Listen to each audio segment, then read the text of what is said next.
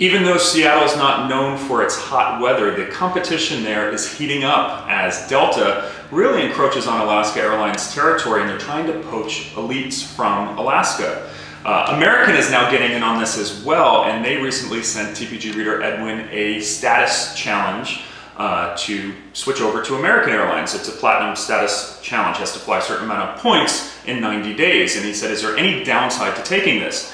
So in general, uh, when you status match or status challenge to another airline, that's when you say, I have status on this airline and I want to bring my business over to you. Will you match it or give me a trial run? Uh, I'll link to uh, posts based on, you know, with more information on those.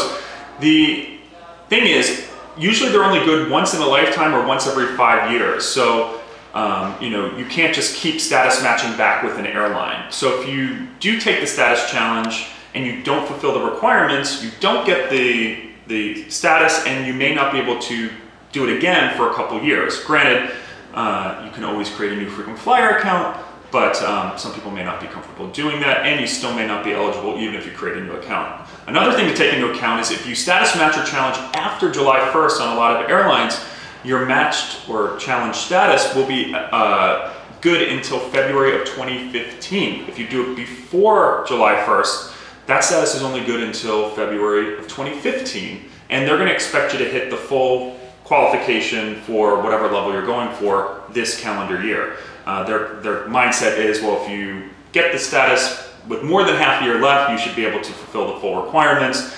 Um, so there are some you know, differences with that, but in general, you may want to wait until July 1st, and you may want to do it when you know you have a lot of travel coming up. So there you have it. If you have any other questions, tweet me at the points guy. Safe travels and good luck flying American. It's my current number one airline, but after flying Alaska Airlines a couple weeks ago, that could change.